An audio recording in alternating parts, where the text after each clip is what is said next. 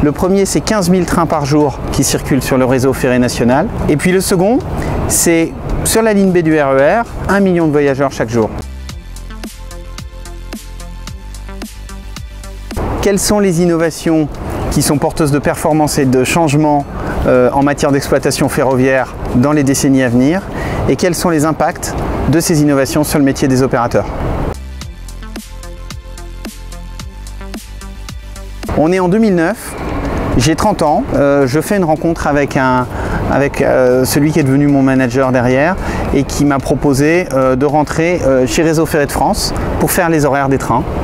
Et ça a été une rencontre euh, qui a changé ma vie puisque je suis passé d'un environnement de, prestation de services au service d'un certain nombre de clients vers euh, euh, le monde du ferroviaire qui me passionne désormais depuis, depuis plus d'une dizaine d'années.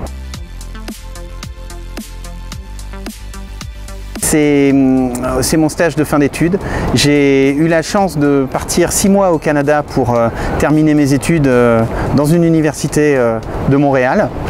J'y ai passé euh, euh, une expérience inoubliable au cours de laquelle j'ai à la fois découvert euh, une nouvelle culture d'entreprise, des technologies modernes en matière d'électronique, mais aussi en fait une culture plus globale qui est la culture anglo-saxonne.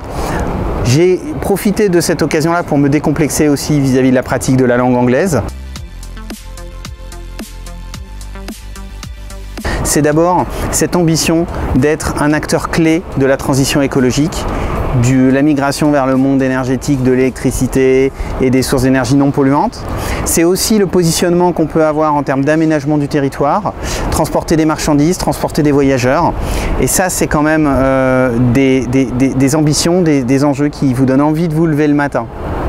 Et puis, euh, au-delà de ça, c'est aussi euh, une entreprise dans le cadre de laquelle les parcours et les opportunités sont illimités. Le champ des possibles en matière de métier est énorme. Et c'est pour ça que je vous invite à nous rejoindre, tout simplement.